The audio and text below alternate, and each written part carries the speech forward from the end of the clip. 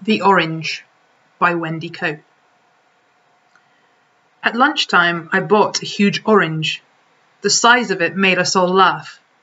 I peeled it and shared it with Robert and Dave. They got quarters and I had a half.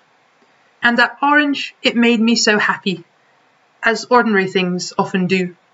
Just lately, the shopping, a walk in the park, this peace and contentment, is new. The rest of the day was quite easy.